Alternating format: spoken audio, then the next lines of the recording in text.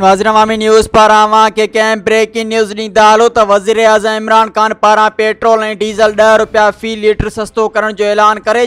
वज़ीर अज़म इमरान ख़ान बिजली पंज रुपया फ़ी यूनिट सस्ती करण जो बि ऐलान करे